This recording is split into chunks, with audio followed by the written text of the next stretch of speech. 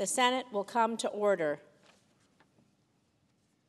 Today's opening prayer will be offered by Rabbi Mendy Greenberg, director of the Matsu Jewish Center Chabad Lubavitch in Palmer, Alaska.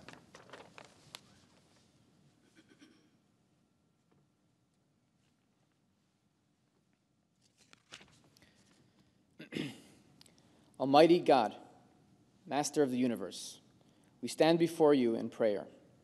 In these troubling times, when innocent men, women, and children have lost their lives and millions fled their homeland due to the catastrophic war in Ukraine, in the words of King David, Psalms chapter 121, I lift my eyes to the mountains. From where will my help come? My help will come from the Lord, maker of heaven and earth. May you, Almighty God, grant the members of this honorable body wisdom and understanding that the ultimate way to eliminate the cause of war and bring true peace to the world is by embodying the universal values of the seven commandments issued to Noah after the great flood, foremost of which is not to commit murder.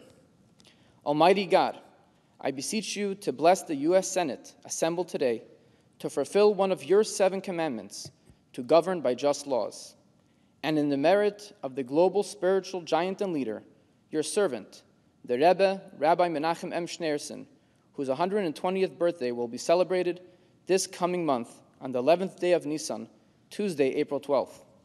In 1978, this honorable body established the Rebbe's birthday as Education and Sharing Day USA and is proclaimed annually by the President of the United States in recognition of the Rebbe's global campaign to bring awareness and educate our youth about these ethical values of the seven, command, of the seven Noahide laws as the basis for a just and compassionate society. Almighty God, may it be in the merit of realizing the Rebbe's vision for humanity, we speedily see the fulfillment of Isaiah's promise. Nation shall not lift sword against nation, neither shall they learn war anymore. With the coming of Mashiach, Amen. Amen. Thank you.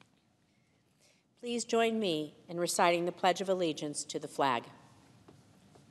I pledge allegiance to the flag of the United States of America and to the republic for which it stands, one nation, under God, indivisible, with liberty and justice for all.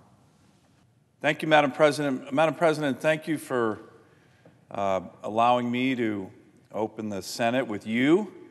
And um, it was a true honor to have Rabbi Mendy Greenberg, uh, who is doing amazing work in Palmer, Alaska, open the Senate with his very powerful and meaningful prayer and very appropriate prayer for what's happening in the world. I just want to say a little bit about our uh, incredible Jewish community in Alaska.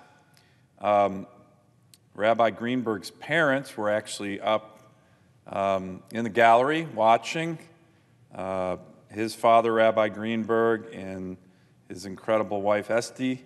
And I just want to say what they do for our community, communities throughout Alaska, is so powerful, so meaningful, and touches so many lives, way beyond the Jewish community of Alaska, way beyond that community. You know, they often, and I love the, the phrase, refer to our wonderful Jewish community in Alaska, the frozen chosen, uh, because we, it's a little cold in our state, as most Americans know. But here's the thing about this community they are incredible in terms of bringing all Alaskans together. We have this annual event called the Jewish Gala that has hundreds and hundreds of Alaskans of all faiths who participate in this every year. It's one of my favorite things to do uh, as an Alaskan to come and celebrate not just the Jewish community, but the spirit of togetherness, the spirit of faith, and the spirit of taking care of one another. That's what this incredible community does, led by both Rabbi Greenbergs, who we saw the younger today give this uh, very powerful prayer. And I just want to thank him and his parents for being here today.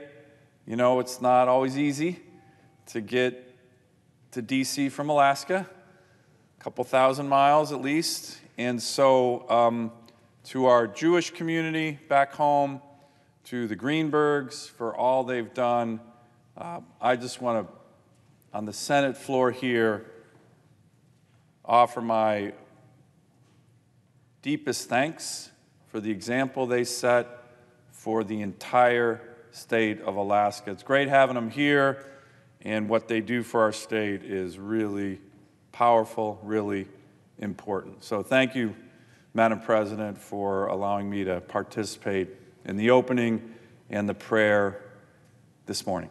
I yield the floor.